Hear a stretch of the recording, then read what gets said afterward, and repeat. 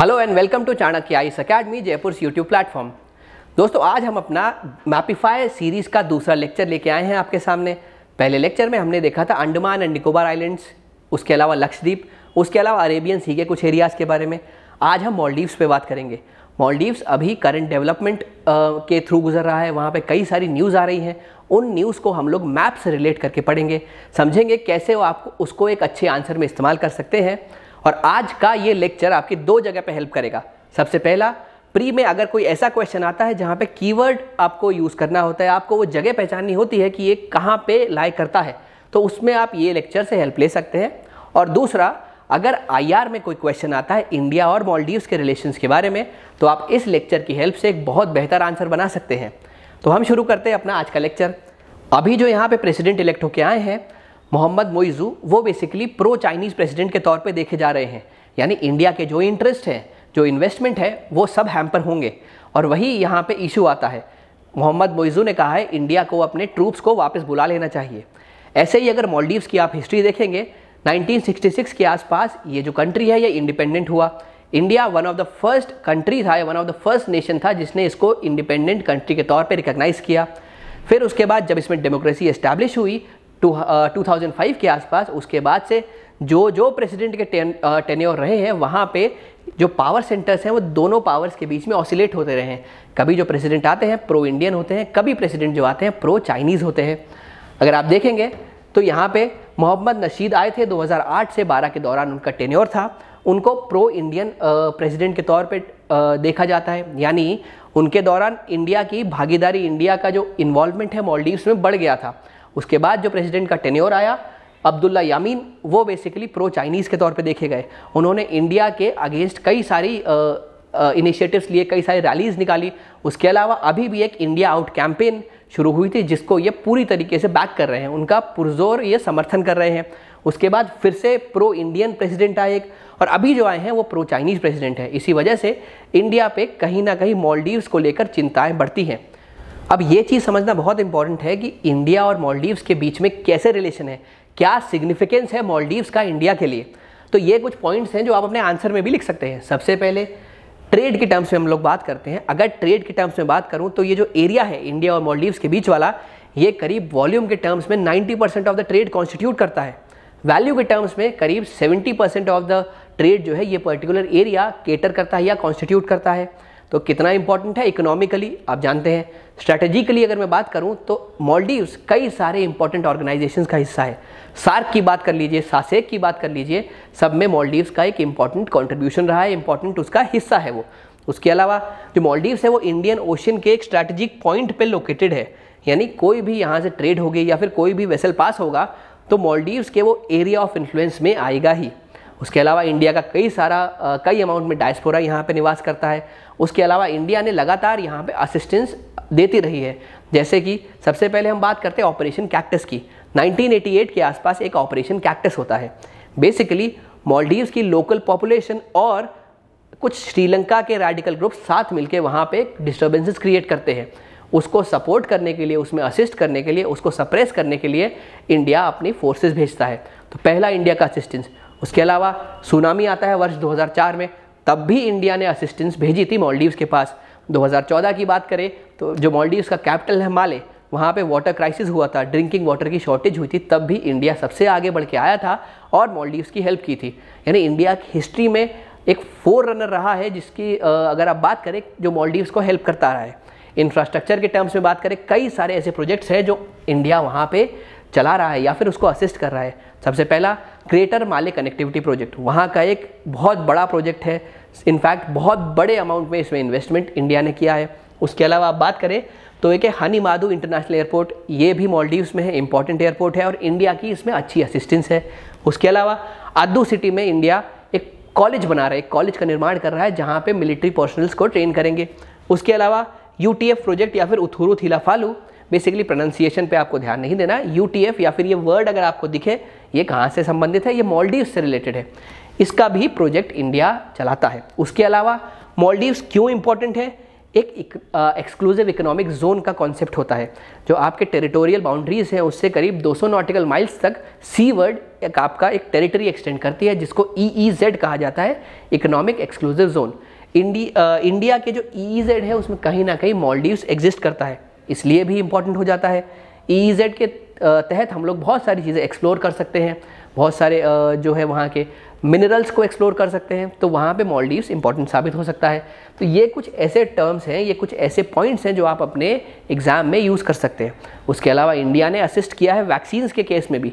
जब पूरा विश्व कोरोना वायरस से पीड़ित था पैंडमिक के, से ग्रसित था, उस समय इंडिया ने कोविशील्ड वैक्सीन अपनी भेजी थी मॉलडीव्स के पास। हम लोग वहाँ के स्टूडेंट्स को स्कॉलरशिप ऑफ़र करते हैं।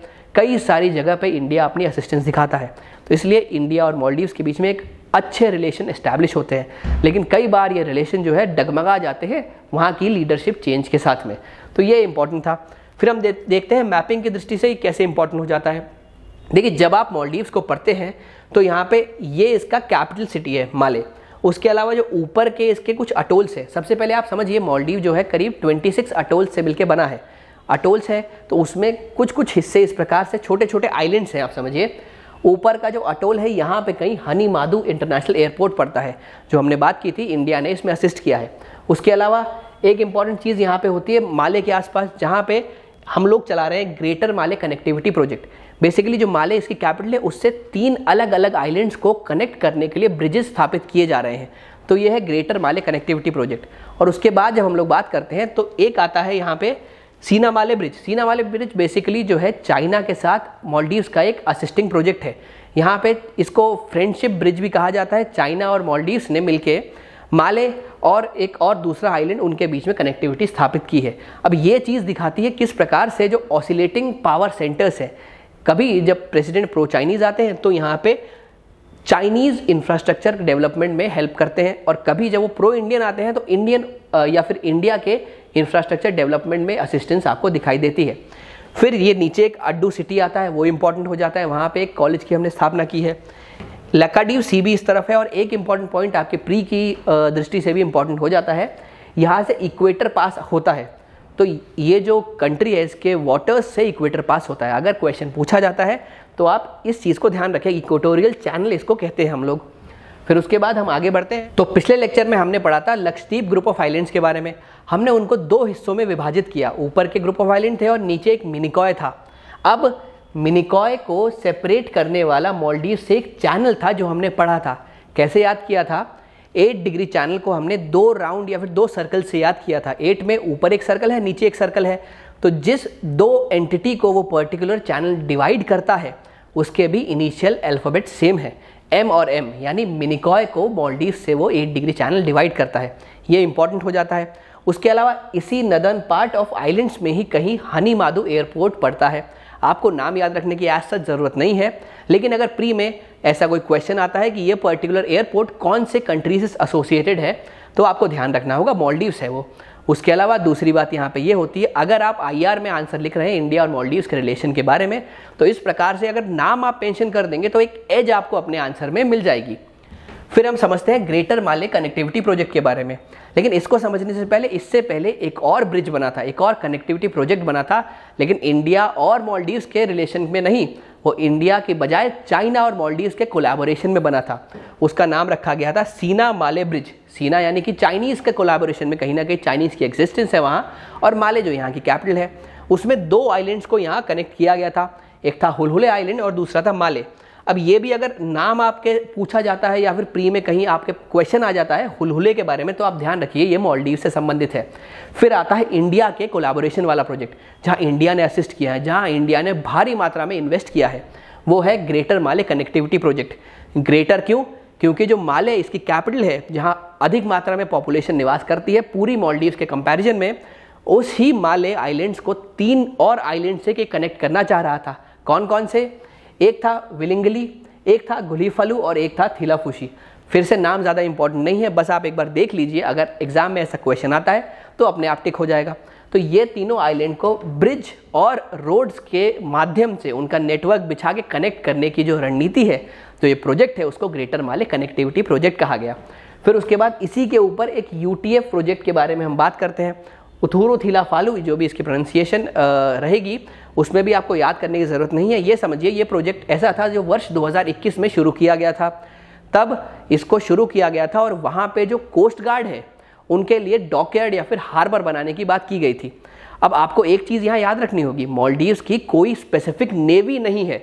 वहाँ पे जो कोस्ट गार्ड है, वही नेवी का काम करते हैं। तो इंडिया ने कहा, हम आपको असिस्ट करते हैं और एक डॉकयार्ड या फिर एक हार्बर बना के देते हैं। क्या नाम था उस हार्बर का? एक था हार्बर। एक था टाइगर नहीं, एक था हार्बर। तो ये आप याद रखिए, एक था हार्बर कौन सी कंट्री के साथ एसोसिएटेड है? मॉलडीव्स के साथ। अब इसी के अराउंड अभी करंट इश्यूज़ हैं। यहाँ पे जो इंडिया ने हेल्प के लिए अपने पर्सनल्स या फिर अपने जो ट्रूप स्टेशन किए हैं मॉलडीव्स कह रहा है, या जो अभी प्रो चाइनीज़ प्रेसिडेंट वहाँ पे आए हैं, वो कह रहे हैं, ये इंडिया की एक साजिश हो सकती है कि वो मालदीव्स में अपने मिलिट्री प्रेजेंस बढ़ा रहा हो। इसीलिए वो कह रहे हैं, यहाँ से इंडिया अपने जो मिलिट्री ट्रूप्स हैं या फिर जो मिलिट्री पर्सनल्स हैं उनको हटाए। तो ये पर्टिकुलर वो एरिया है जिस पे बात चल रही है। लगातार ये डिस्कशन का एक मुद्दा रहा है, डिबेट्स इस पर होती रही हैं। जो एक ऑपोजिशन पार्टी में लोग थे स्पेसिफिकली अब्दुल्ला यामीन की बात करते हैं इंडिया आउट कैंपेन में वो कह रहे थे, ये जो हार्बर बनेगा, इससे इंडिया की मिलिट्री प्रेजेंस मॉलडीव्स में बढ़ेगी, जिससे हमारे सिक्योरिटी, हमारी सोवेरेंटी को खतरा है। तो ये कहीं ना कहीं एक न्यूज़ का मुद्दा बनता है और इसी को हमने कनेक्ट करके पूरे मॉलडीव्स को समझा। ये जो चीज़ें हैं, ये आपके एग्ज़ाम के लिए बहुत इंपॉर्टेंट है। तो एक बार हम रिवाइज करते हैं, हमने क्या समझा? सबसे पहले हमने ये पढ़ा कि न्यूज़ क्या थी मॉलडीव से संबंधित। फिर हमने पढ़ा कि जो मॉलडीव्स है, उसमें किस प्रकार से हमने आइलैंड्स देखे, कहाँ पे एयरपोर्ट है, कैसे मॉलडीव्स इंडिया के लिए सिग्निफिकेंट है कौन कौन से इंफ्रास्ट्रक्चर प्रोजेक्ट बने हैं, कहाँ इंडिया ने मॉलडीव्स को असिस्ट किया है। फिर हमने दो कनेक्टिविटी प्रोजेक्ट्स के बारे में पढ़ा एक जो चाइना के साथ बना सीना वाले प्रोजेक्ट और एक जो इंडिया की असिस्टेंस से बना ग्रेटर माले कनेक्टिविटी प्रोजेक्ट एक हमने यूटीएफ हार्बर में बात की जिस पे लगातार अभी मुद्दा चल रहा है जिस पे अभी डिस्कशन चल रहा है। तो यहीं पे हम अपना आज का लेक्चर समाप्त करते हैं। मुझे आ, मैं उम्मीद करता हूँ कि आपको इससे हेल्प मिली होगी और आप इससे कई हद तक अपने क्वेश्चंस या बेहतर आंसर बनाने में सक्षम हो पाएँगे। Thank you